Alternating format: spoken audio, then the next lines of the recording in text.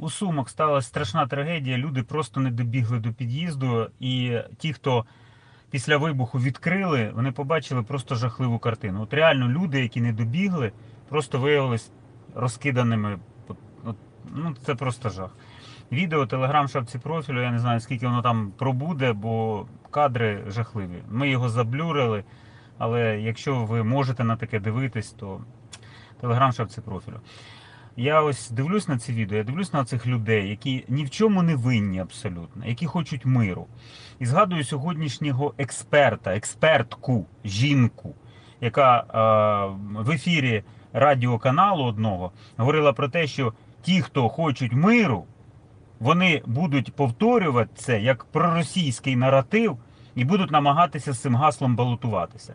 Я бачу, що поки ось чиновників і їх дітей нема в оцих під'їздах, і за залізними дверима, які врятували людей, ось допоки їх будуть примушувати до миру. Вони не примушуються до миру жертвами звичайних людей. Вони мають поїхати в Америку, і щоб там їх примушували до миру. Інакше не буває.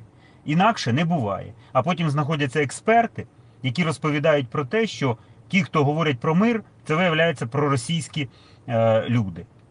А не хочете побувати в Сумах? Ні? Подивіться на цей жах телеграм шапці профілю.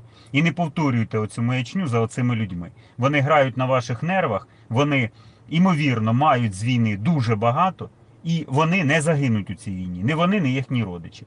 Розплачуємося ми. Але наше життя для них абсолютно не мотивація е, хоча б, хоча б поговорити про зупинку війни. Ні, в них інша аргументація. І наше життя з вами туди не входять. Телеграм шапці профілю, там це відео.